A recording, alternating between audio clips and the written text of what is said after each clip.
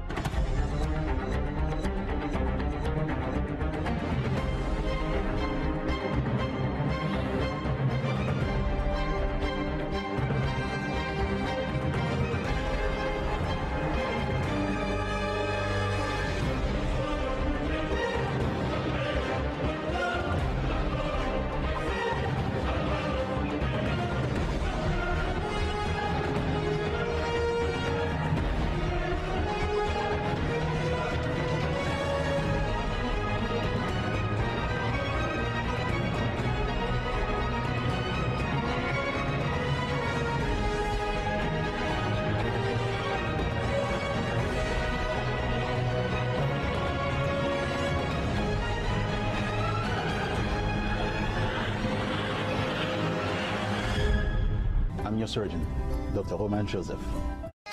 This show is brought to you by Jeff Hess, attorney at law.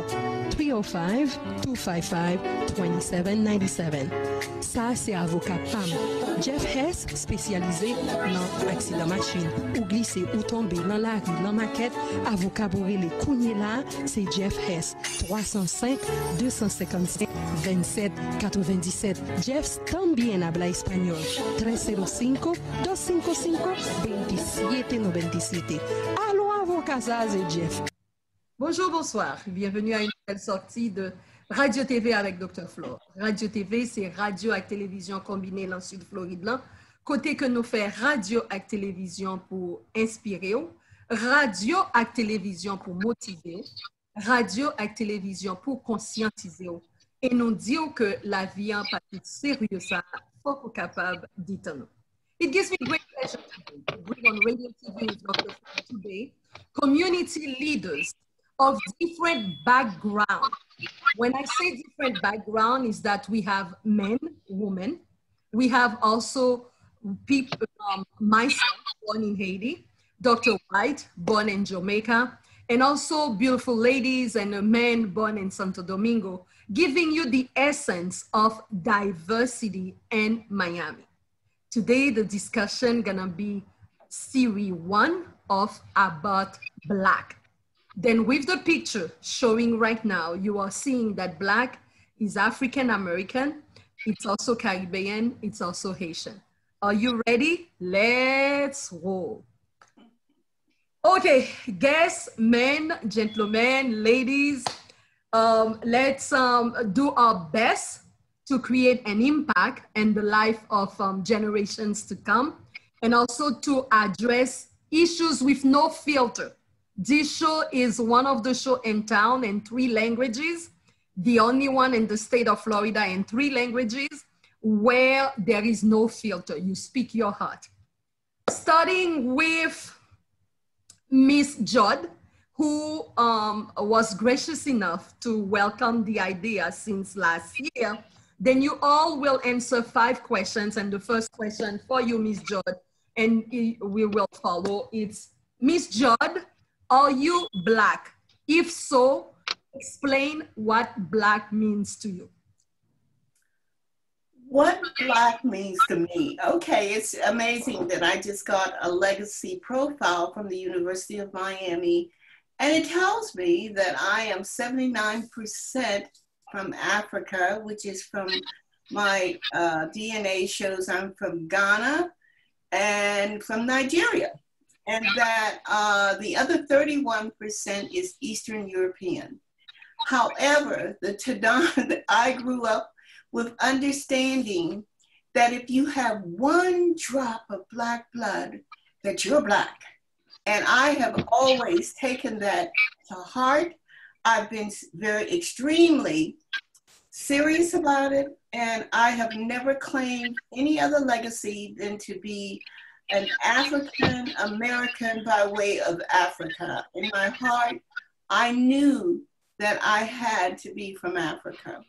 So, therefore, my whole life I have spent working at trying to make sure that our issues as from the African diaspora was in the heart of myself, my family, my friends, and uh, I can remember my son saying to me, Mama, that's racist. I said, No, it's about the culture, honey. You can't believe that just because I am so prolific and so passionate about being African, that that is anything other than what it is, and it's proud to be.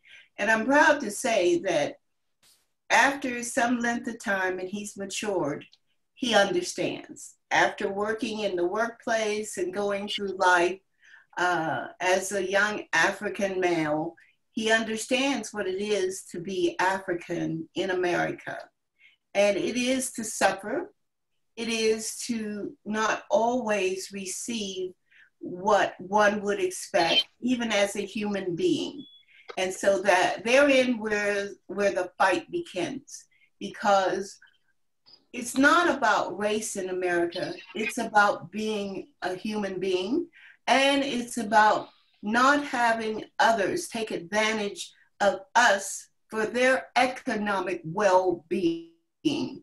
So, when you talk about economic well being, there's only two sources in America of power, and that's either people or money.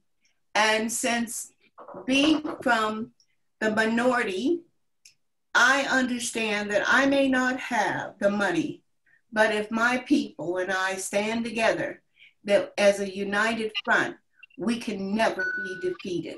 So that's my passion, knowing who I am, fighting for my people, and just fighting to be a human being that gets respect, not necessarily for not giving anything, but fighting and earning and deserving what my God given right is, and that's human rights above and beyond all.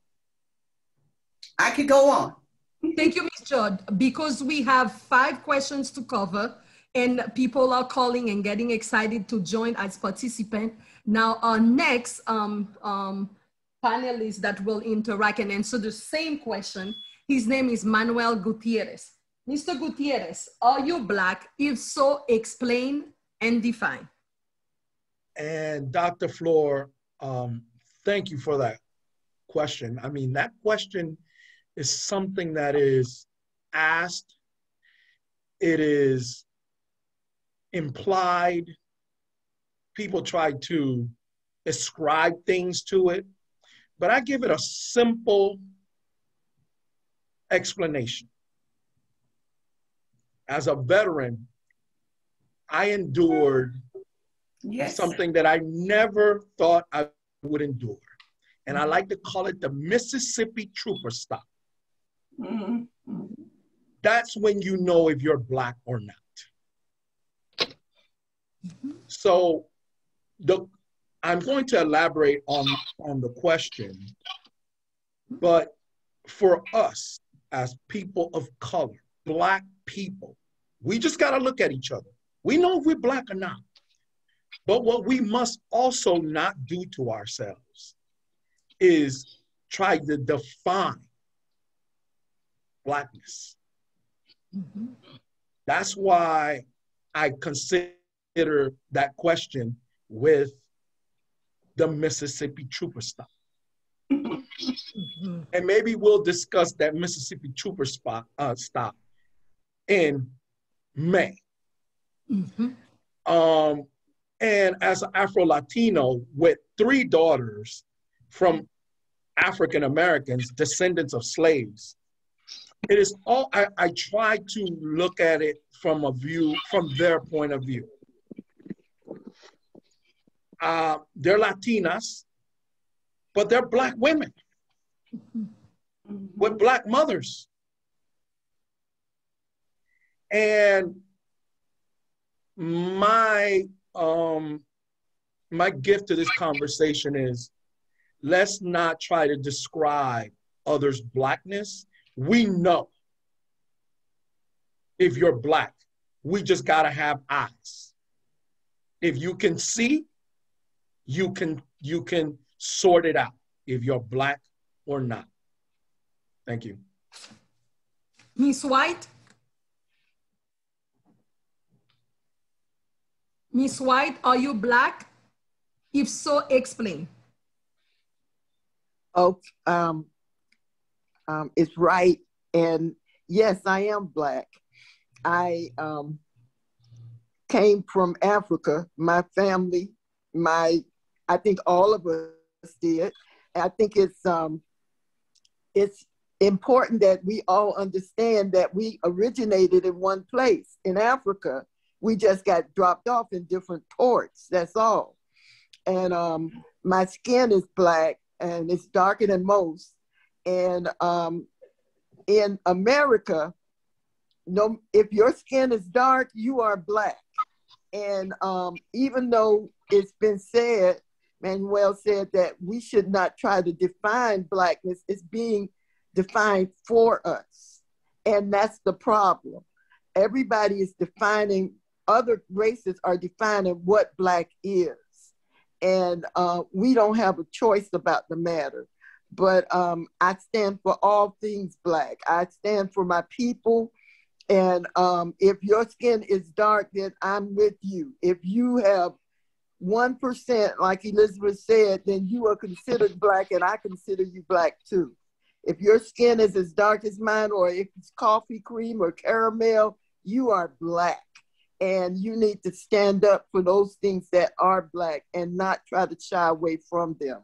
It's not something that we can, even though we've been um, brought up in different cultures and we can embrace those cultures, we need to be able to embrace our blackness also. And we are all, it's the one thing that we all have in common. I am definitely black and blacker than most. Dr. Whyte, are you um, are you black? If so, explain. I'm black. On my card, it says black. Um, being black, um, unfortunately, means that going into into into a store, um, I have been followed or looked at extra carefully. Um, me being, if if me going to Coral Gables in Dade County, just because I want to take a walk or run down the street, there's a chance that the police officer will profile me. And, you know, I, I joked around with a, a loved one of mine saying that, yeah, I'm going to go run down the street in Coral Gables.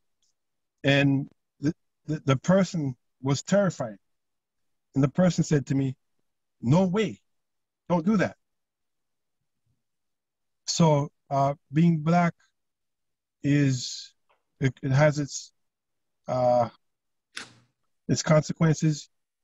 Uh, you, you we, we do suffer certain things. Um, however, uh, being black, I think, is also a great thing. Um, I have made a positive influence in people's lives in spite of what they thought about me as a black man, um, me coming to this country, me being able to achieve uh, the education and uh, the things that I've done uh, uh, in my uh, personal space with the economic, my economic situation. Um, so being being a black male though is is is a very special thing, and and and we we bear a, a special burden in this country. Um, in spite of the title, in spite of um, what what economic stratosphere we're in, Yes. uh, I'm looked at I'm looked at as a black male uh, through through through the lens of certain people in a, neg- in a negative way. However, I'm looked at we're looked at as a a powerful force to be reckoned with. So so being black is it's a it's a beautiful thing. it, it, it comes with uh, a, a, spectrum of uh, so many different things that I, I, I, can't, I don't have enough time to explain today. Uh, so whether I am from, I was born in this country of, of slaves from ancest from an ancestral background or came to this country from, from a Caribbean island, uh, I share in the experience proudly of being a black male in this country. So uh, essentially that's what it is. Miss Annie, um, the last one to answer the question, are you black? If so, explain. Yes, I am black. I am beautiful. I am a seed, a seed from what I have been taught to the human race, that all people come from black people. I am powerful because we have what others fear. As a black woman, I am a diamond in the rough, and I watch other women of other nationalities want what I have. When I was a young girl, I remember being called Bubba Lip, the lady with all the big butt, and all of these things that all of the women of the of another nationality who fear me want. They pay to get what I have. I am the diamond in the rough. I am the jewel. You are watching and listening to a special educational documentary about Black. It is brought to you by a group of volunteers, leaders who have just answered the question based on DNA tests, based on their proud, um, their pride. Miss Judd feels, and um, that 79% measured by the University of Miami that she has one drop of black that makes her black. Then for the students watching, for anybody around the world, black is beyond the skin tone. When we went to Mr. Manuel Gutierrez, he mentioned to you that he is a veteran and he's gonna educate us some more about his experience of the Mississippi stop. We heard from Miss White. Yes, all our panelists answered with confidence that they are Black. And also to wrap up that question, I myself, I am Black from the first Black Republic called Haiti. Black beyond my skin tone, Black beyond the geographic location of my country, I am Black. Moving forward to the second question, dear panelists. I'm gonna start with you, Manuel Gutierrez. Then, how does it feel to go to that experience of the Mississippi stop? Enlighten us. So, I mean, I have, I look at this three dimensional. Um, I had never been outside of Florida, actually, never been outside of South Florida at that point. Uh, a son of immigrants, a veteran, actually an active duty military service member at the time, with a Hispanic looking name and a black man in a car. And that was the first time as an adult, a young adult, that it was really in my face when he asked me for my documents.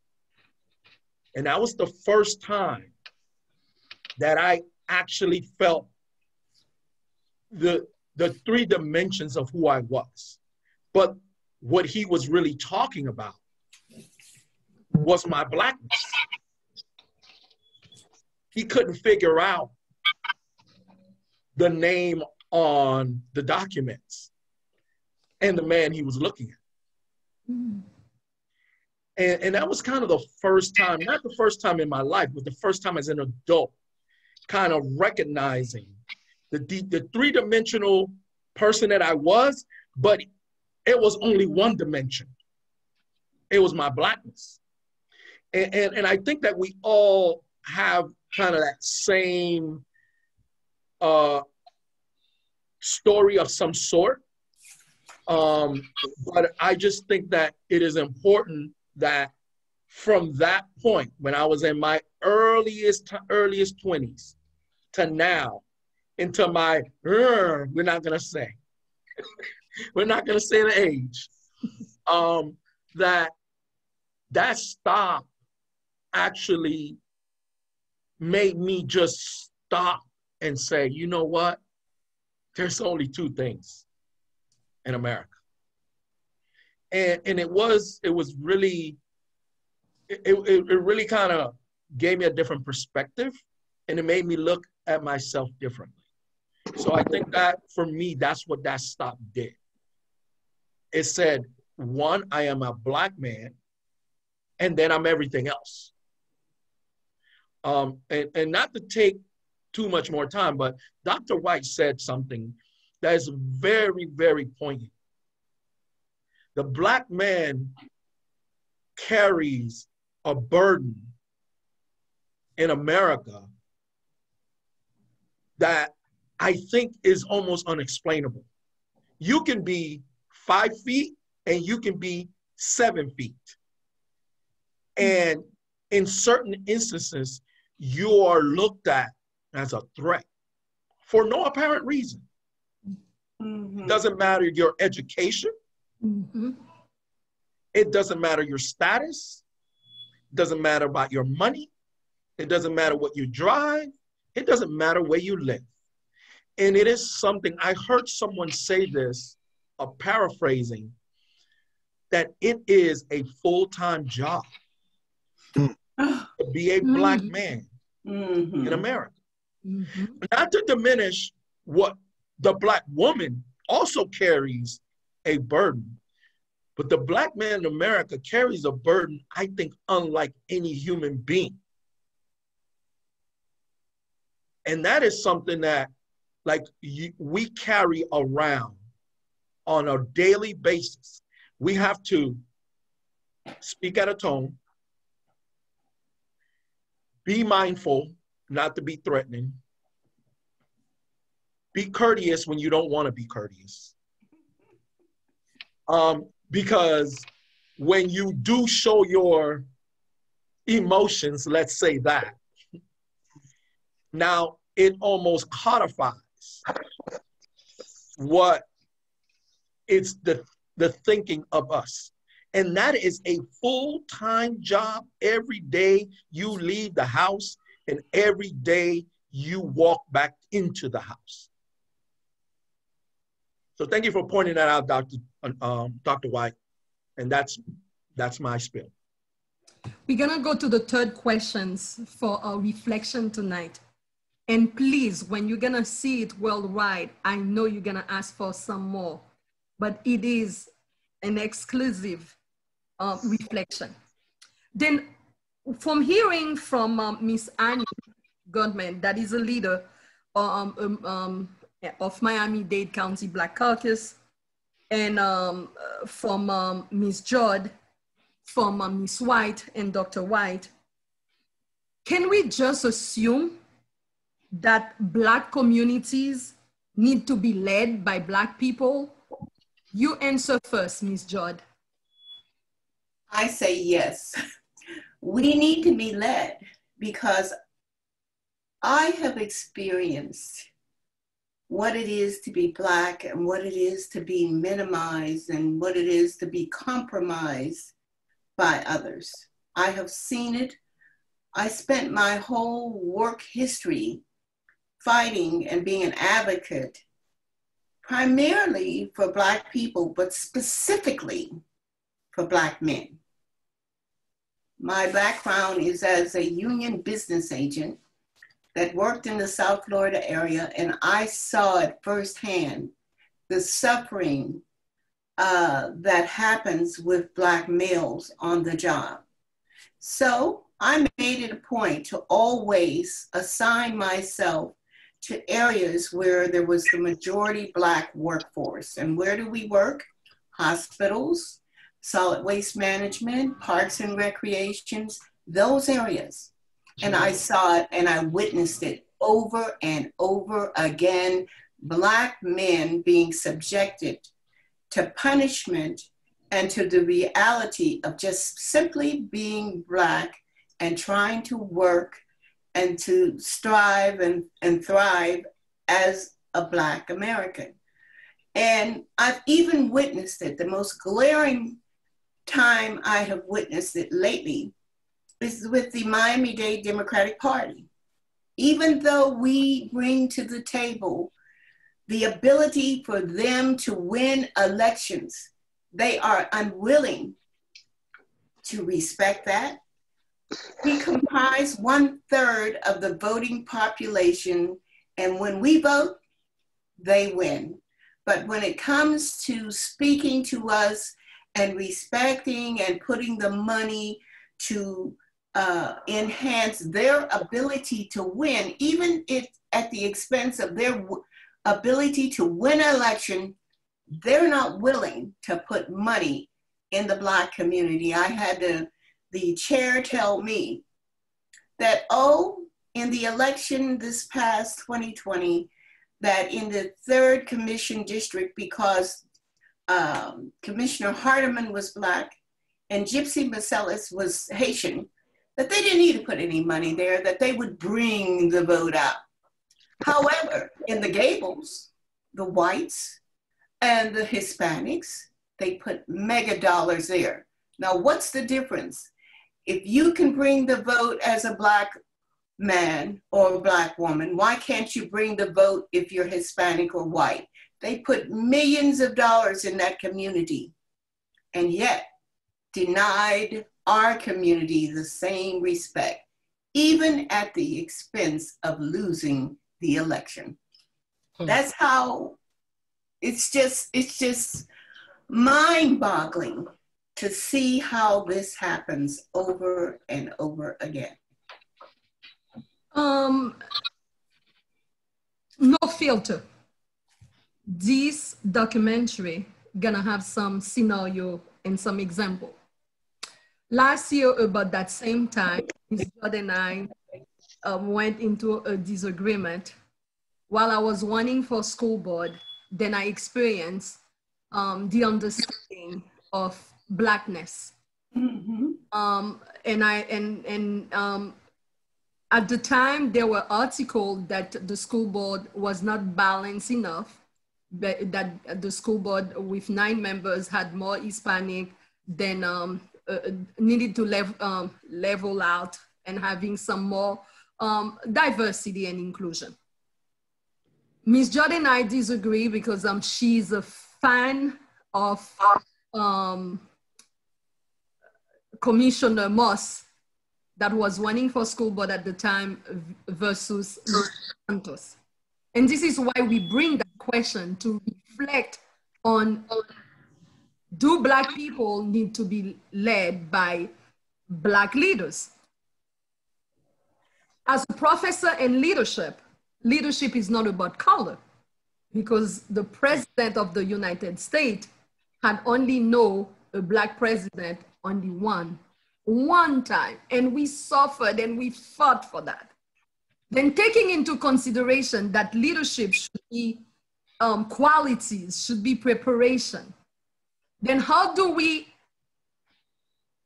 answer to people that will not welcome Black leadership? That question is for you first, Dr. Whyte, and also Ms. Judd, you can comment. And we have two other participants. They, they may raise their hand if they want to react to that reflection of do black communities need to be led by black people? Because um, at the same time, we have Gutierrez, the last name of Gutierrez, he's black. Do they welcome him in Liberty City? Or would they welcome him in Little Haiti? I want to hear from you guys, starting with you, Dr. Whyte. Um, well, being, I think that, yes, in the context of America having the racist past that we do have, um, yes, I would prefer having a black leader lead black people. Um, however, the heart of that leader is very, very important. Yes. As, as you know, we're in a country, my the country. heart of that people, because it's not all black that means well for black, for their own black people. We agree. Okay, we're gonna talk there. Yes. So, so the thing is, so the thing is that the heart of the black person leading us has to be special, and so um, to answer to, to answer that question, the other question is, the other answer is, uh, if they don't want us to lead, um, they, they have no choice but to deal with us because the black votes are gold. The black vote is the powerful vote that will make or break the mayor, the governor, or the president in this country. Hmm. How about you, Miss White? Does it? Do we only need black people to lead black, you know, black leaders to lead black people, black communities? Yes, yes. And the simple reason is because we know our neighborhoods, we know our communities better than anyone else. What people, what the Democratic Party failed to understand is that each neighborhood is similar in the fact that we have, it's not a, a, a um, there's not just one, a monolithic um, um, application that could be placed on any neighborhood. And this is one of the things that we try to get them to understand.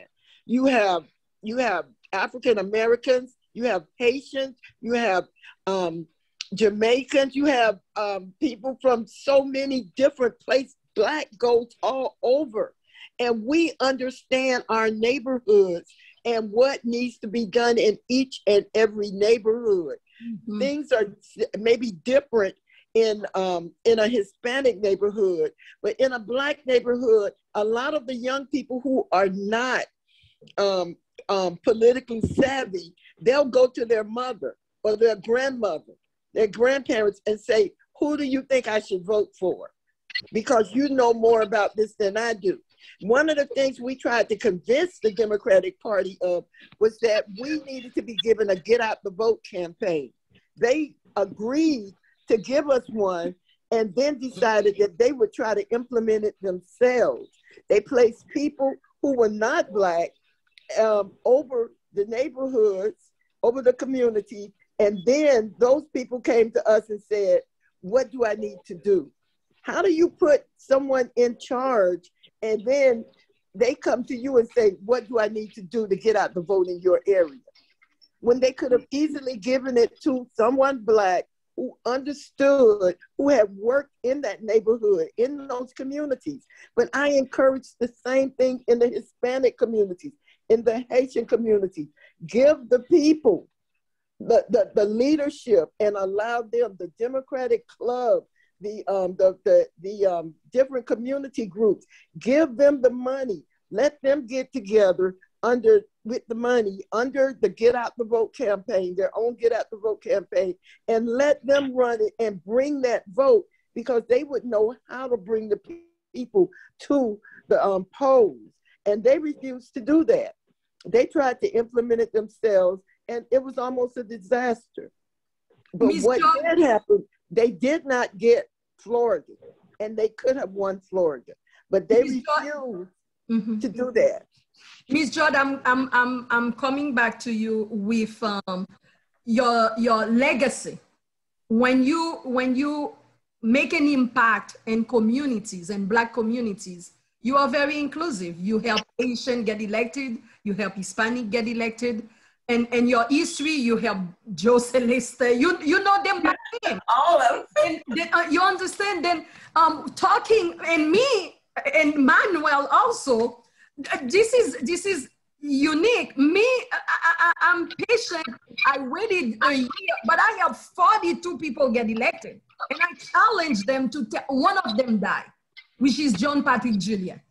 Okay, may he rest. Then, um, when we helping in leadership, it's not only color; it's our will as well. But why is that? That when we are losing, it's Democrats losing Dr. Uh, uh. Judd, and you will be followed by Emmanuel. Well, the issue is simply this for, for oh so long, I recognize even when I first came to Florida, when I saw the plight of the Haitian people, I used to march on 54th Street with Father Jean-Juste. I didn't know Haitians. I came from, I lived in Pennsylvania, Northeast. I knew Anglo Saxon people, I knew Jewish people, Polish people, but that's what I grew up with.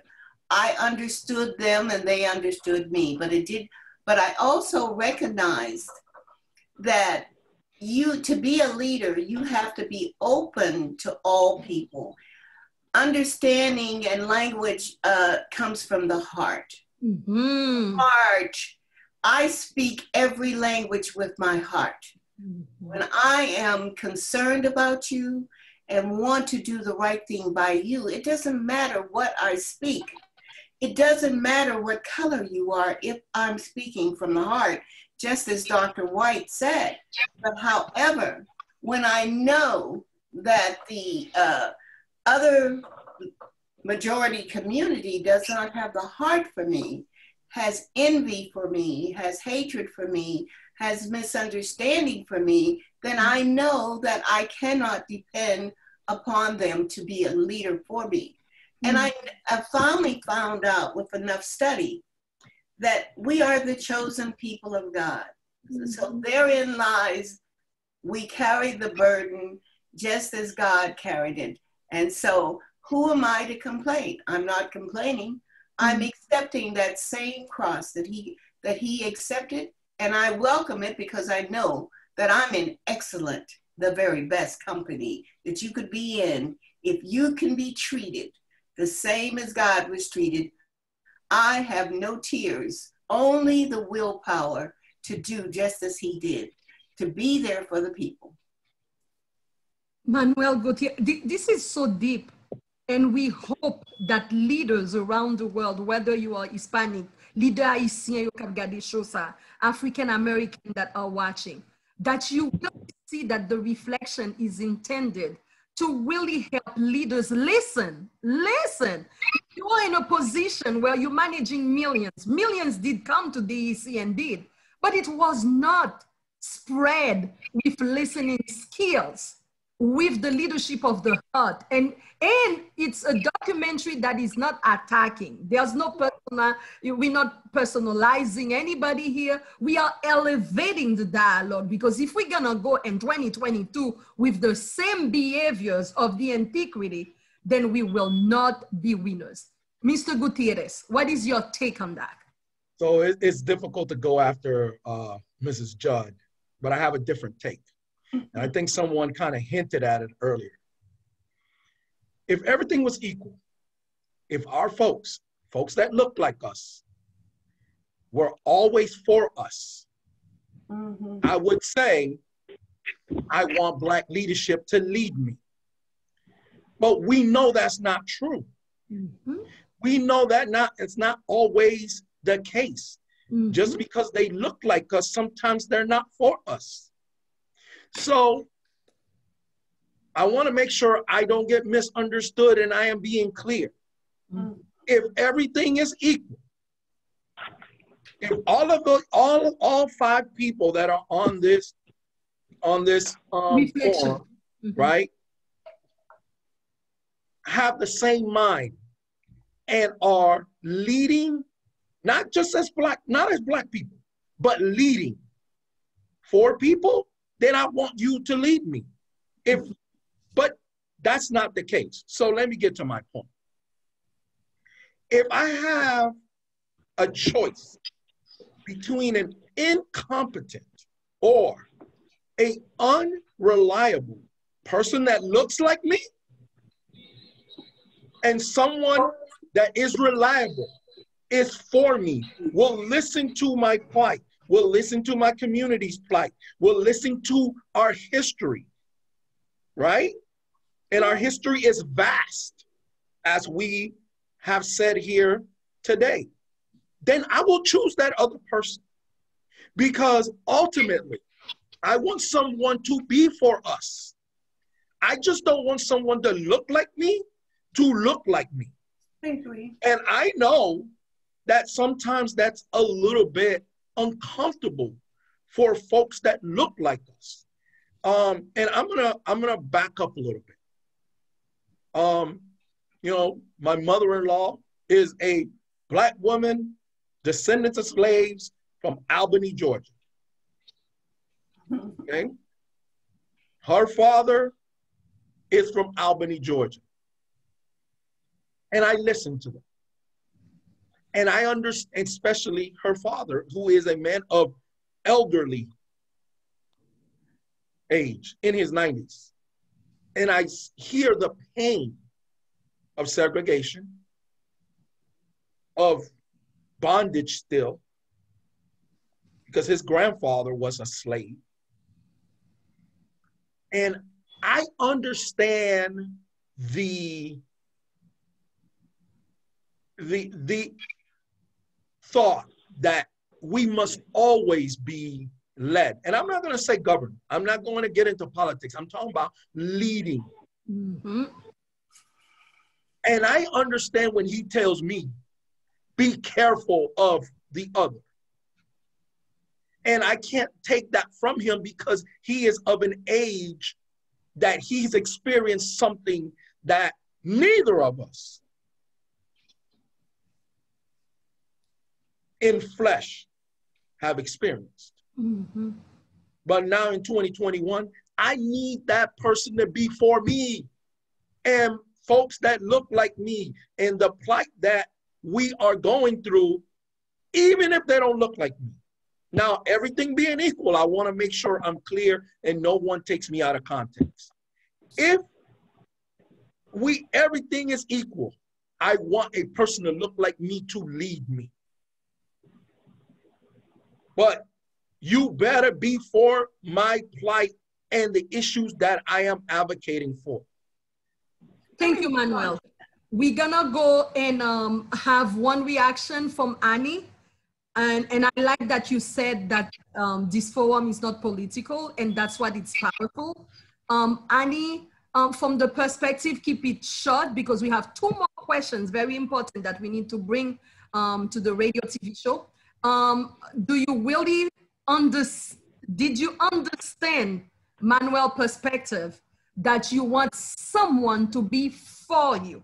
Um, because you describe woman from a perspective of beauty and how other women if a woman is looking looking you down or looking down at you then would you want that woman to lead you about bringing some perspective of black women my thing is my thing is is is is not a not of sex i feel that the leaders we are all we have Black Hispanics, we have Black Haitians, we have Black Americans. There's a Black era in each nationality. But unity is the big thing to me. Each each leader has to be unified. It has it does not have to necessarily mean for one section. You've got to look all over say okay the three there's three black leaders they need to be on one accord for all of our people, not just oh, because I'm Haitian, I'm gonna I'm gonna fight for the Haitians. I'm I'm Hispanic, I'm gonna fight for the Hispanics. American, I'm fight for American. We mm-hmm. gotta fight for it all. That's just my my comment I want to make. Okay, I like that. And this being said, um, and and wrapping up, yes, watching that forum, you may agree that you want, because you are black, that you want to be led by a black um, leader, male or female. But however, you need to have an open mind um, and do your assessment, do your homework, see, um, see the issues that matters to you and your community, education, education, health, um, gun violence, and so many other things. Our fourth question is money coming from Tallahassee. 2020 and 2021 sessions, we are still in session. And, um, and I, I have all the documentary here from at least four leaders that we have a level of relationship with. Let me start with South Dade, Kevin Chambliss, going to um, the area of North Miami, Miami Beach and above, Senator Jason Pizzo, um, State Rep Dotie Joseph, and Mary Woodson. presently now, we want to educate people and also Manuel and all of us have a level of experience and, and the sessions in Tallahassee. And I want to publicly um, thank the New Era Alliance and uh, Dr. Lotter for, for also helping me with that session. Um, the people that we help elected, they go on our behalf with projects, projects that they campaign about and they go to Tallahassee to lobby for us. And when they come back, eh, once they have those projects, those projects become bills that are introduced. Then presently, presently, guys, we want you to be aware and to follow because when we do round two, that's where we're gonna see if what we call appropriation, if they are approved, because now most of them are in committee. For Senator Pizzo, he is working now in um, S1114, something called compensation. He's trying to bring money for people that are wrongfully incarcerated. We need to look into that. For, for State Rep Chambliss, he is trying to get money and now his appropriation is in committee. HB 3121, that is um, um, homestead automatic flushing system. State Rep Dotie Joseph is trying to bring money for Miami Shores, um, Miami Shores Village. And lastly, um, State Rep Woodson, and there are many more. I have them, okay? But we need, by doing this, because that was never done before, they know that we are watching. Um, she's trying to bring some money for the African American Museum. You see, I gave you those examples. And now a fighter of the economy. I see, Manuel, you have your hand up. How do, how do you think we're doing with the sessions in Tallahassee? Well, that was a hand up for uh, earlier. I would like to hear uh, Mrs. Wright um, because I know she has a wealth of knowledge and I don't want to hog up the time I've spoken enough. Go ahead, Mrs. White. Mrs. Wright. Okay, she has her hand up also. Please, this part is very important. We elect people but now they're saying that we're having a conversation about black, but they are facing several challenges with um, a, a, a session that is mainly Republican dominant. Then what is your hope with that session, Ms. White? Well, my hand wasn't up, but I will say this we need to um, i know that they are trying to get things taken care of in their neighborhood but we have so many issues. Do you know how many people are homeless right now? You can't go while they're raising money for a museum if you go to the black museum we had a, a, a meeting with the mayor. You couldn't ride you had to ride past a tent city because there are so many homeless people right now in my, in Miami-Dade County. That's one of the things we need to be fighting for. In Miami Gardens, they are trying to put Formula One racing in the residential neighborhood. And now our, we have a new city council that's approving it. And they're, they're, they, they've done something with, with the Miami Dolphins. That needs to be stopped because you can't move those houses out of the neighborhood that they're going to be racing down the streets on. You know, so there are so many other things that need, there are many more issues. And I applaud them fighting for that issue. But when you get up there, you need to fight for everything. You need to fight for as much as you can, and you need to get in everybody's face until they say, I'm so sick of her, give her what she wants, or give him what he wants, because he's not going to stop you said it right. Okay, now you, Miss Judd, what what kind of money would and and issues that you would like the money to be appropriate appropriated for, Miss Judd? I would tell you this. I have monitored Tallahassee for 30 years. Okay.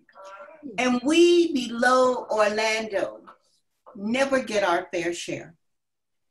And it's because we vote along party lines, and the majority party right now, they have a vote proof. We can't override any, they can override anything they want that is put forward.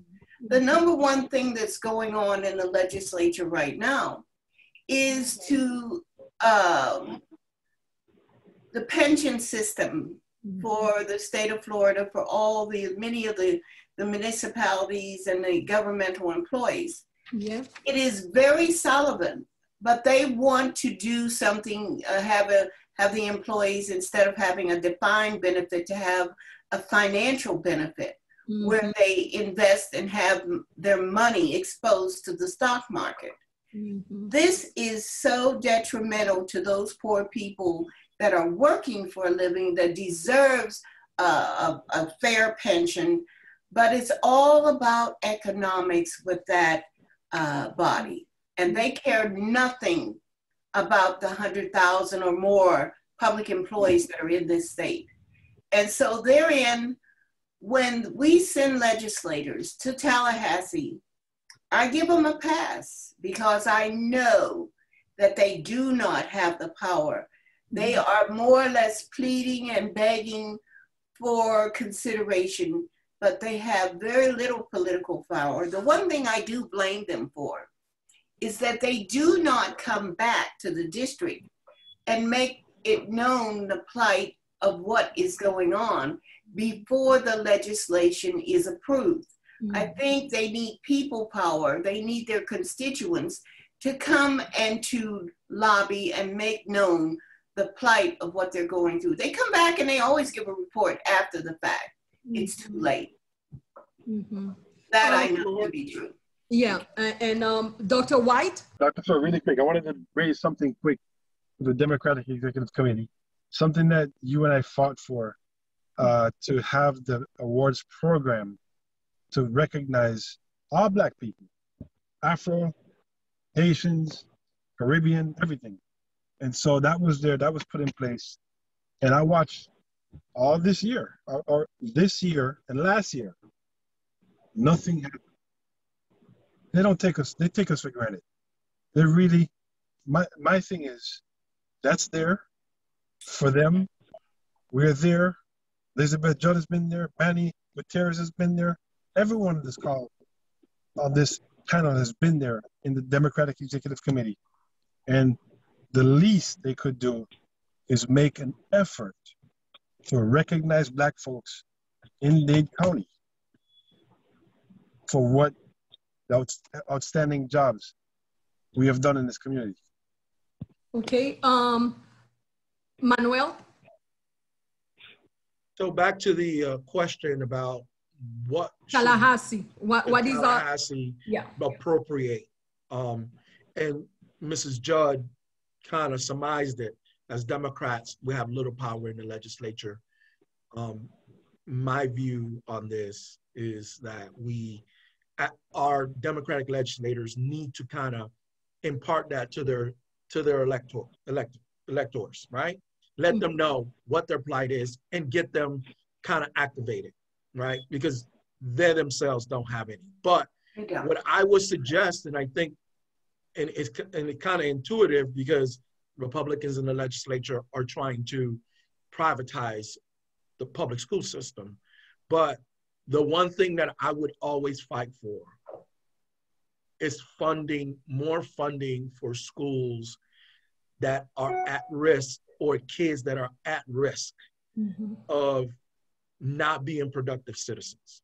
And that's a, you know, that's a broad definition but more funding for those schools. And people always talk about it inner city, but not all inner city schools are struggling and not all inner city kids are struggling. We need to kind of think about it. Um, I remember Rudy Crew, for those that remember Rudy, um, used the formula to, he took some of the schools that were not doing well and put it under his tutelage. Um, and they thrive. Um, so for Tallahassee, I would say as an impact, as a, as a leader, as a legislator, what I would be advocating is for that because that would be an impact for those kids that are not are not in a position to overcome whatever shortcomings they might have in their neighborhoods in their homes.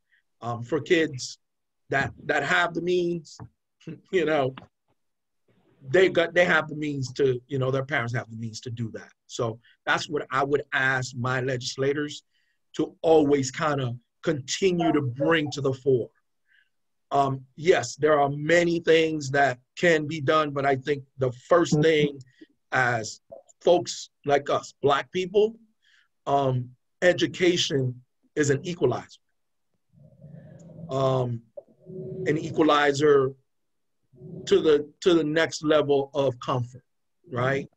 Um, so I think that that would be my paramount thing to ask. Um, yeah, we are, um, we are receiving the signal that um, we are ending that um, forum today, and I want to thank each and every uh, each and every one of you for your time. It's an investment. It is a beginning, a beginning of a dialogue about Black beyond skin tone, but also, as you can see, the essence of leadership and not politics, the issues of what we need, ju- not just writing bills. Because when, when I look at this, it seems that each of them have like 50 bills. And just listening to Miss Wright, homelessness, it's in all those respective districts. Then if we help elect four or five Democrats, they could agree and go into Tallahassee with what we call a joint issue. And each of them fight for us as a party and said, let's solve homelessness and Broward if it's Mary Woodson, and Little Haiti for Dotie Joseph, and Miami Beach for Pizzo. Miami Beach has homeless because people keep mutating because of gentrification. Homelessness also for Kevin. But I'm seeing for my 29 years of leadership in Miami-Dade County, we elect people, we are leaders, but we are powerless because everyone wants an individual bill. That's right. Not the legacy. That's not Black legacy. Black legacy is that Black people are sleeping on the streets of the state of Florida. Then let's have less Black kids, less Black women on the street, less black men, regardless your color, if you are our leader. That's my message. That's my message. Then now I'm turning it to each and every one of you for you to wrap up with inspiration. Because in May, and like Miss White said, they should have come to us and Miss Judd said it before the session and said, this is the headache I have. Don't only call because of one bill, the protest when it goes to Senate, but help me also get money um, for the economy, for training, like Dr. Whyte is passionate about. That's the kind of Black dialogue we initiated today. Miss Karen has been a very loyal participant in that, in that um, session. We're gonna give her the chance for her to comment because we want to be fair. And um, let me see if there's any, um, okay, put your phone on mute. I didn't leave nobody behind. Okay, very good. Home honor, starting with you, Annie. Your Dr. Flore, sorry, I have to run because you know. Okay, then be first, Dr. Whyte. Do your thank, thank you so Thank you so much. Well, the top, in closing, in conclusion, the top, the top three things: economic empowerment, affordable housing, and education, amongst three things that the people, our leaders in the past, should focus on bringing bringing those the resources the money back home to empower us. Um, unit, unity. The black black people in Dade County, we have no choice but to unify. If either sink or swim. If we don't unify, we die. We die. Thank you. Thank you. Okay, you, you next, Annie. Your closing remarks. My closing remarks are the same as Dr. Whyte economic empowerment. We need to unify and work together for that general cause. Mm-hmm. White? I agree. Economic empowerment is very important, but the thing is, we need to be able to know how money works. We've got to be able to understand the financial concepts and uh, the concepts of how finances work. And if we are uh, um, given the money that we need, especially encourage black businesses, minority owned businesses, but you can't just stop by giving them money. You've got to give them a hand as far as teaching them how, the different concepts. And if we can do that, that economic empowerment will grow. And then the education also and homelessness. Affordable housing is really important, and we need to stop with the, the gentrification it has to stop because with gentrification, it destroys our history. And I'm against that. Okay, um, Ms. Judd. Okay, mm-hmm. I agree with all of the above, mm-hmm. but I want to point out to you, for those of you, if you're not aware, if, as far as education is concerned, in Miami-Dade County, because we will receive 1.1 billion dollars in our school system budget from the stimulus. We have money that we need to be on top of and make sure that that money is filtered into our communities and to fairly into all of Dade County. Another uh, closing remark I want everybody to understand empowerment. We have 640,000 registered Democrats in Miami-Dade County. Of that amount, one third is Black. We have the power. If you only understood the numbers, and data does not lie, numbers are scientific. It's not opinions, it's not attitudes, it's the bottom line for whatever you do. If you've got the numbers, so as everyone has spoken about unity, let's bring Black unity and exercise that registration of all the power that we have. Thank you. Manuel? So to summarize like this whole conversation, we as black people, we are powerful. Yes. And we have to recognize that. Exactly. Mm-hmm. And more importantly, because it doesn't even matter in your own family. You and your, you and your mother have disagreements. So when we as Black people have disagreements amongst ourselves about whatever, we can't disunite. And also, we can't be disagreeable. Um, so we're powerful. We need to understand that we're not going to agree, but we can't be divided. Mm-hmm. And more importantly, again, I always go back to education.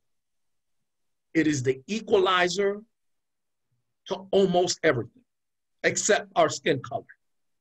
You but it is an equalizer. Yeah. It is an e- economic equalizer. It is a status equalizer. And it is a, an equalizer for our families. And the way we do that through our leadership, through our own talents amongst each other. We all have talents, but we just need to kind of think about it in a sense that we need to provide that talent to our own people too. So unity and we have power. I am of a country called Haiti where the motto is unity makes strength. Well, today they are still questioning unity among Haitians, unity among our leadership in our country, Haiti. But yet, when we leave home and we become international, we are humankind, as Miss Judd said, as Miss White said, as Dr. Wright said, as Annie said, as Manuel said. About Black is a documentary not about our skin color, but about our ownership and our sense of identity. We're leaving you this evening, today and tonight, leaving you thinking that we are taking the steps to empower you as Hispanic, Afro-Hispanic. I'm born in Haiti, but I'm raising an Hispanic girl. Manuel is Afro-Hispanic. Then we have cultural sensitivity, and Miss Judd is a leader. For a young leader of Anglo descent, when a black woman is talking to you, consider that it's Big Mama house. She's only advising you, she's loving you, she's only guiding you. She's not demanding or imposing. And in order for all of us to win, as Manuel said, it is okay to disagree, but it's time for us to start winning. I'm Dr. Flore Lindor Latortue. With this great group of leaders, we tell you stay tuned until round two, where we're gonna nail the appropriations, not because we're gonna personalize any leadership, but because we're gonna bring the facts to you. Be safe, be healthy, everyone, until our session in May. I love you all. Attention, attention, attention. Rent prices are ever increasing. COVID 19 has rents very expensive. Everybody's renting, nobody's buying. This is great news for home buyers. Own your own home for less than you pay in rent. Clover House Realty wants to help you find a place of your own. Call your local real estate expert at Clover House Realty at 754 368 4921 and see what's selling in your neighborhood. Call 754 368 4921 or visit cloverhouserealty.com to start your free home search today.